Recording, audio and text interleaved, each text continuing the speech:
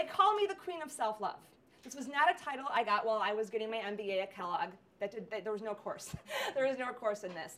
This happened because um, well, I had one of those wake-up calls, you know, when you think you're going around in your life and like everything is good and like, yeah, I love myself, I'm good, you know, got a good job and I got a, you know, got a handsome man and I got a lot of friends and, and I really did. If you had met me 10 years ago and you had said, Christine, do you love yourself? I would have been like, yes. But self-love had never really crossed my mind and I didn't know what it was. And so when I found myself on the receiving end of a broken engagement, hours before my engagement party, and instead of kicking the guy in the face and saying, You're a jackass for doing this right now, right here, because you have better timing, and instead begging this man to take me back while I was a high paid executive at getting my MBA at the best business school in the country, I had to look at why was that? Why was it that this woman who had so much self esteem didn't love herself enough to value herself, to be, to say to this guy, you know what, I'm better than this? And the answer was, Christine, you like yourself a lot. Christine, you have a lot of friends. Christine, you even have tons of self esteem, but you don't love yourself. And when that message came down, you ever have one of those messages? It's like, you know, God, the divine rings you up and you've been hanging up the phone for like years, and all of a sudden you're like, uh, yeah, I think you're kind Maybe I should listen this time. And I said, you know what, you're right. I don't love myself, and I don't know what that means. But I'll tell you what, I'll tell you what, divine, I will make a promise to myself. And I made this promise 11 years ago, laying in bed by myself with a broken heart. But it was different this time because instead of it being a broken heart in which it was like I wasn't enough to be loved, my heart broke open so I could fill it with love. And I said to myself, Christine, we're going to fall in love with ourselves. I don't know how it's going to look like. I don't know how we're going to do it. I asked all my friends, they didn't know how to do it my relatives, I'm like, well, I'll ask my mom and my grandmothers. They're, they're older, they'll know. And they said, honey, stop asking such silly questions. You know, just, just go be happy. I'm like, that's not working. It's not working. So that began my decade long travel, which I'm here today with all of you talking about how do we actually love ourselves. And six years ago, I left my corporate job to go out into the world to actually share the message of self love because I think it's kind of a little bit mis- misunderstood. Now, I um, am wondering if any of you have ever thought that self love is masturbation. Go ahead, you can, you know, you have to raise your hand, but go ahead and admit, yeah, that. That when you think of self-love, oh, that's that's masturbation. And, and and it is, you know, masturbation is a form of self-pleasure, and self-pleasure is a form of self-love. However, saying that masturbation is self-love is like saying that the teacup ride is Disneyland. Right? The teacup ride is in Fantasyland, and Fantasyland is part of Disneyland, but it's a very small piece, right? So that's number one. Number two is that self love is not, as dictionary.com defines it, narcissism, conceit, and vanity. That's the current definition of self love in our culture. Now, that's important because even if all of you want to love yourselves and you're like, pro, yeah, love myself, this, your subconscious mind is trained. If you go out and say to people, I love myself, who here would really do that? right? Because we're like, oh, we don't want to be seen as vain. We don't want to be seen as uh, you know, narcissistic. And here's the thing you cannot catch narcissism. It's not contagious. It's literally not, if you don't already have it, you're good. You know? You're good.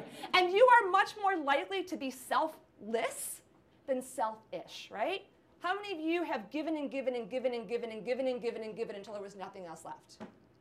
Go ahead, raise your hand. It's okay. Who here has ever compared themselves to other people? Raise your hand. Look, look around the room. Who here has ever said mean things to themselves in their head?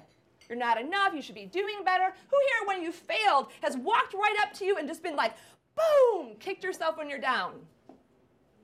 I mean, look around. This is a common experience in our culture. Who has over ever overstayed in a relationship, a friendship, a romantic, that wasn't really the relationship that was right for them? These are common experiences. That's not self-love, right? That's not self-love, but you can see why loving ourselves is so, so important. And, and if, you, if I was to say to you, Daniel, don't ever compare yourself again. If I was to say to any of you, you deserve to only be in loving, respectful relationships, period. If I was to say to you that your body is beautiful exactly as it is because God made it that way. If I was to say to you that you're not perfect, you know what? You are perfect all at the same time. If I was to say to you that it's actually insanity to compare yourself because you actually can't be somebody else, would you all agree with me? And can you imagine that all the little people that we are growing up right now are growing up with the definition of self love that says it's conceit, vanity, and narcissism? This is called the self love tree. And this is what I understand self love to be. Now, you're all activated, you're all thumbs up, you all know that you deserve to love yourself. How do you do it? Self love, because people are like, love yourself, love yourself, love yourself. Like, what does that mean? How do you do that? I think of self love as a tree, and it has 10 branches on that tree, and it has these beautiful roots, which are your self worth. You need to give yourself love in all 10 of these areas. All 10 of your branches of self love need to be blooming and fed and nourished. Part of the challenge is, is that most of us in this culture, we just focus here on self esteem because it's really valued in our culture. Be confident, know you can be and do and have it all. And what happens is this branch gets so big that it, it shadows the branch of self compassion. So we end up with like a bunch of high achievers who are hard on ourselves, right? Or it gets so big that it steals from self pleasure. So we're workaholics who forget how to have fun. And we're like, uh, yeah, I got a lot of money, got a lot of like accolades. Uh, mm, my, my happiness quotient, right? And so as you go into your day, and this is not just as you go into your life, because self love is a practice to consider at any moment where on this tree might you need to have some more love? So is it self care? On that day, is it about that you really need to be nourishing yourself and giving yourself what you need? Is it self awareness and self honesty? Is it self acceptance, self trust, self esteem, self compassion and forgiveness, self empowerment, self expression, self honor and respect, and self pleasure? And then the roots of your tree at self worth. Every year on February 13th, it's the International Day of Self Love. Put it on your calendar. I pick a branch, well, actually, people all around the world choose one branch. And they say, that's the branch I'm going to grow this year. Last year for me, it was self pleasure because I was realizing, even though, even though I love my work as the queen of self love and I get to do all these wonderful things, I was joy starved. Like my inner child was like, uh, You're working way too much, and I need to have some joy.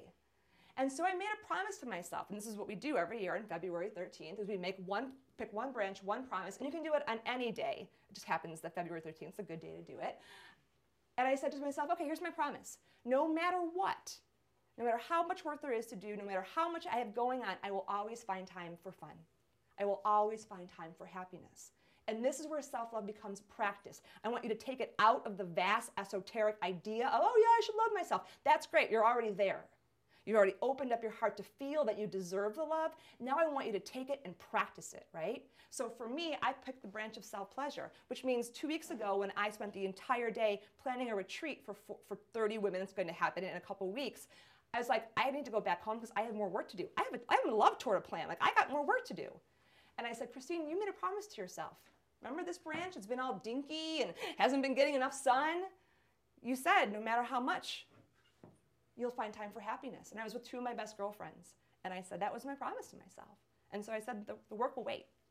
And I had dinner with them. We had a couple glasses of wine. We connected. It was beautiful. And I woke up the next day, and guess what? The work was still there. Didn't really need to get done the day before, right? That was all in my own consciousness. And so, whatever for you is the branch, just consider, just even ask yourself right now, which one of these branches might be the one that's calling you forth most? And today, as you're here today, just notice how you might be able to fill yourself up more in that one area. And then consider taking a promise. Self love promises are like anchor points, they pull you back in. So, in that moment, like for me, when I was like, oh, I got more work to do, it was like, oh no, I made a promise to me.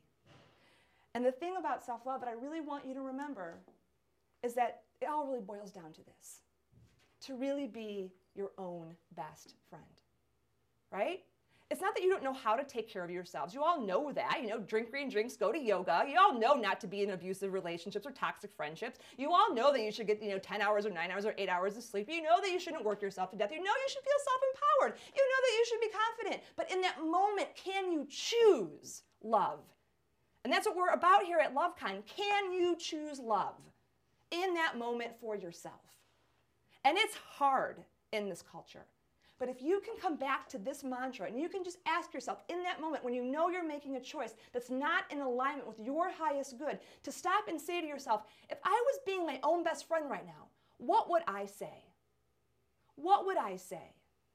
And if you still can't get there because your inner critic, you know, your inner mean girl, your inner mean dude's going nuts in your head, you stop, you close your eyes, put your hand on your heart, and you say, okay, if I was my own best friend, and you slow down, what would I say to myself? And I promise you, if you slow down and you put your hands on your heart, love will come up and you will be able to give yourself permission to do what it is that's the loving act towards yourself. Self love is the same as love for anyone else, it's just directed in a different way at you. So consider directing love at yourself and being your own best friend for the rest of your life. Thank you.